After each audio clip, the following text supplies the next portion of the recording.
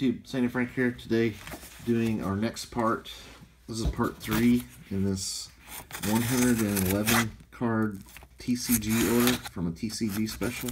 I don't like to usually do orders this big, but I had a bunch I wanted to get in on this, this grading special.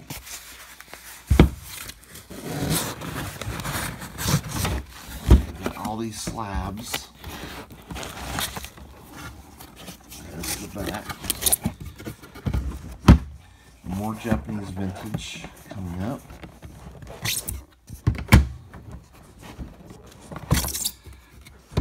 Lots of Pokemon. I've actually had at least four different card games hmm. of cards in this order. There's our tower. And you can tell we're not having the greatest return because look, this is our 10s and this is our 9s and this is our 8s. So um, we have not been dominating with 10s. But we've got a lot of vintage Japanese stuff. So, All right, here we go. Here we go. Excuse me. Okay, this one, there is a white dot there. And the centering is definitely thicker on top. Ah, the Umbreon and Darkrai GX. Now, I knew this wasn't going to get 10. That's why I hadn't sent it in yet. Um, it's definitely off-centered. These are, you can really tell if they're off-centered. Um, I'm going to guess an 8. Ah, they got a 9. Nice. I don't, I don't know if I've ever gotten a 9 on one of those. Alright, good start to this last box. Okay. Okay, definitely a white spot there. Um, I'd definitely say thicker on top, slightly. Wartortle. Oh man, really? Yeah, this is not going to get a 10 with that white dot. This is from 151, the illustration rare. I mean, I have to say it's probably a 9. Yep. 9 on an ultra modern card, not good. But, I mean, it deserved it. There's a Sorcery Atlas card. Got a white dot there. White dot there. Oh, this is the Vesu Vesuvius. A uh, unique site. Really cool. I think it's a 9 though with those white dots on the back. This grader is not going to let those slip. Ooh, an 8. I don't know about an 8. But, okay. Those are staying in my collection anyway, so don't really matter. Um, that was a beta card, by the way. These are beta. Maybe a little bit of whiteness up there on that edge. Witherwing Hero. This is a unique... Come on, let's get a 10. Yeah, it's a 9. Yeah, it had a little bit of whitening, so... I know sorcery cards are going to be really tough to grade. Yeah, whitening. Yeah, I see whitening on three spots on the back on those these corners. You know, similar thing when the cards get cut on the in the printing presses, sometimes they catch a little bit of paper there and make a little white spot. Ah, the tadpole pole pool. Tadpole pool. This is a unique site. Beta. Come on. That's nine. Yep, nine. With all those white spots, is not to get 10. Alright, this one. Now, the back of that one looks really good. The Ultimate Horror. Now, that one is way nicer. I'm going to say a 10 on that one. A 9. Hmm. I think that one probably deserved a 10. This one... Back looks really good. The Aroma Lady. This is a uh, rainbow secret rare, hyper rare, whatever you want to call these. Not a fan of the trainers in the, these uh, secret rares, but they're very hard to pull, so I went and graded it. From Evolving Skies, um, I think it's a 10. Yep, Gem Mint 10 on the Sweet Aroma Lady.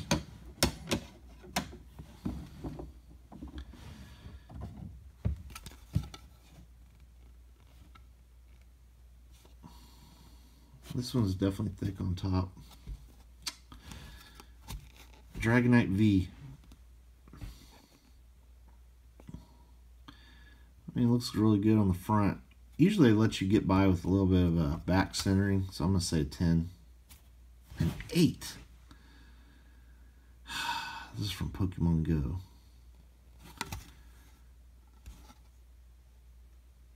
I don't understand how that got an 8. I really don't.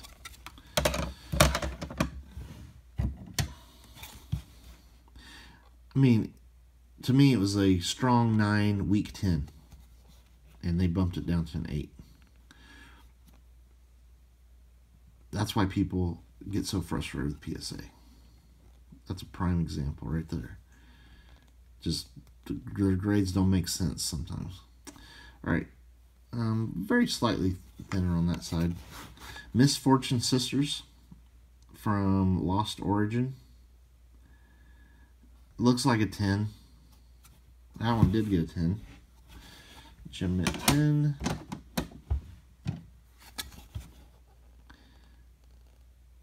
Mm, this one, a little bit, a couple little white dots there.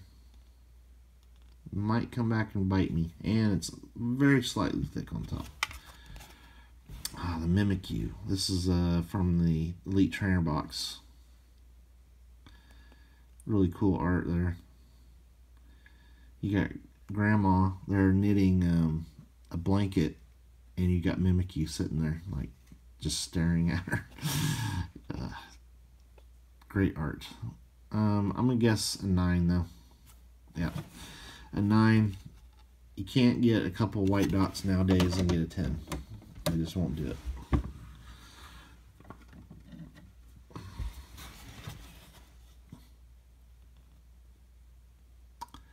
That one looks perfect on the back. Ah, I I have definitely sent this card in more than once. Uh, I think this is the third time I've sent this in. I always get nines on it, and there's no. I've looked at this card under lights, every which way but loose, and I don't understand it. I mean, the centering looks really good. That's usually what gets you on these. And then the back is perfect. I always think this is a 10, and they keep giving it 9s. But the reason I keep trying is because, number one, I believe in the card. Number two, the 10s are way, worth way more than the 9s. And the 9s are still worth a lot, but I will retry a card if I believe in it and if um, I'm 100% sure it's not going to get a worse grade because this is, to me, is a 10 all day. Boom! Ha! After the third freaking time. I think it was the third time.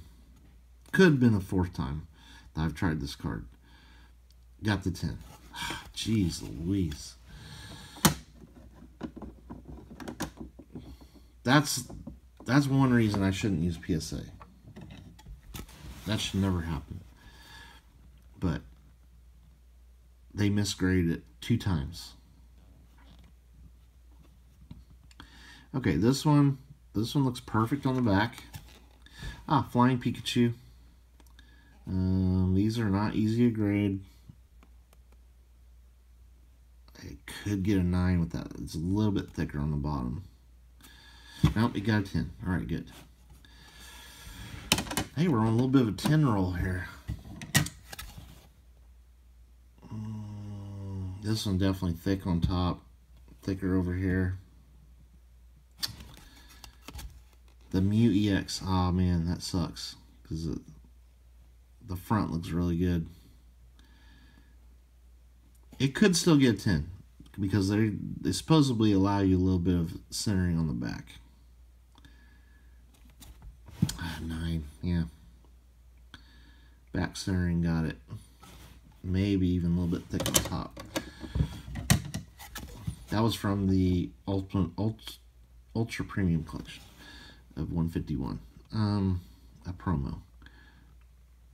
This one looks pretty good. I don't see any issues back there. Pikachu.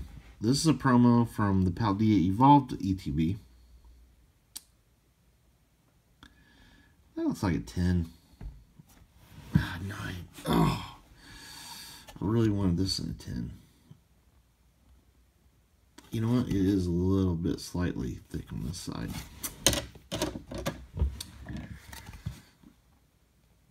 Or I'm just looking at it funny. That one looks really good on the back. Tyranitar EX from uh, Obsidian Flames.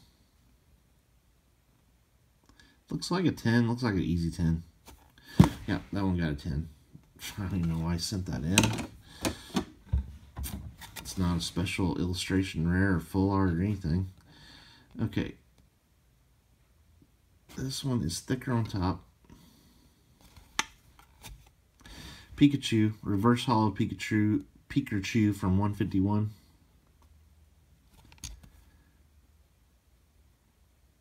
Looks like a 10. 9. Oh, man. Ah, there's a Lorcana. So this is now, we had a MetaZoo card, Pokemon, Sorcery, Lorcana, and Magic. So we've had five different card games in this order. Looks really good on the back. Again, game card with black borders. These are going to be tough to grade and black borders on the front. It's a foil.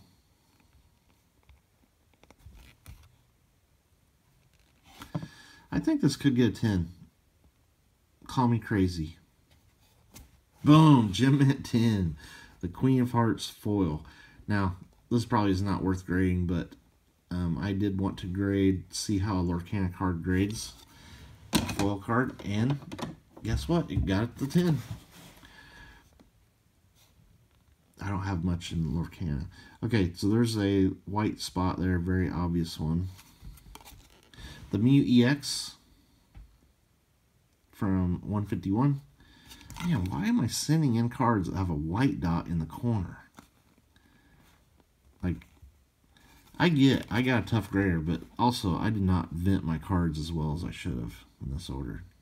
Like this, this could very easily get a 9 because of that. Yep, PSA 9. That's just a complete mistake. And grading is not cheap like it was back in the old days, where it was $7 a card. You could just send this stuff in and not worry about it. Now, it's probably at least twice that much now. That was what I spent on these. So that was just sloppy uh, venting of my cards.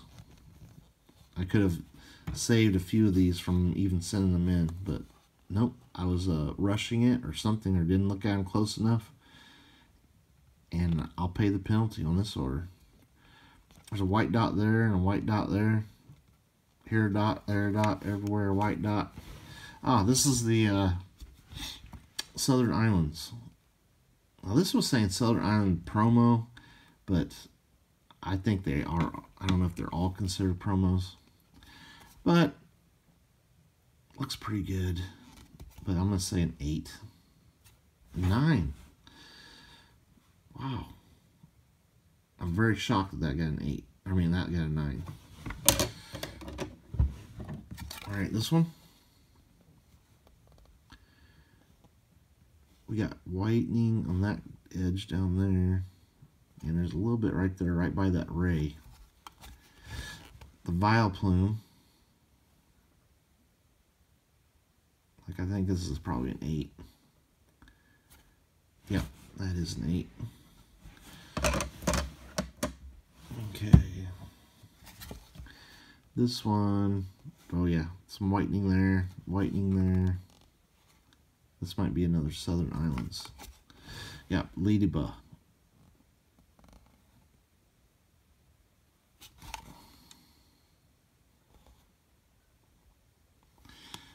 I could see this being 8 or 9, judging by those last two.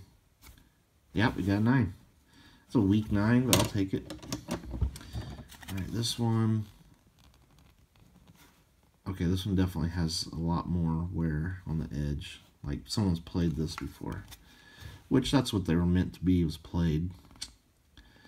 Um,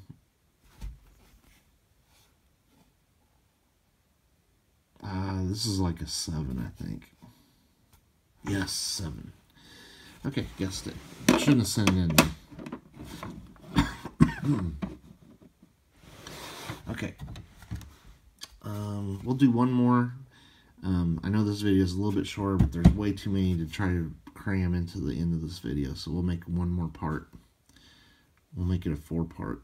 So this is thinner on top, thicker on the bottom has a little bit of a skew. Greninja V. The front looks really good, but I've been getting dinged, I think, on centering on the back more than I should. So I'm going to guess a 9. Ah, Gem Mint 10. Had just enough to uh, survive to be a 10. Okay, we'll stop there. We'll do a part 4, and I'll do my top 3 at the end of that video of my top three favorite cards from this order. All right, later.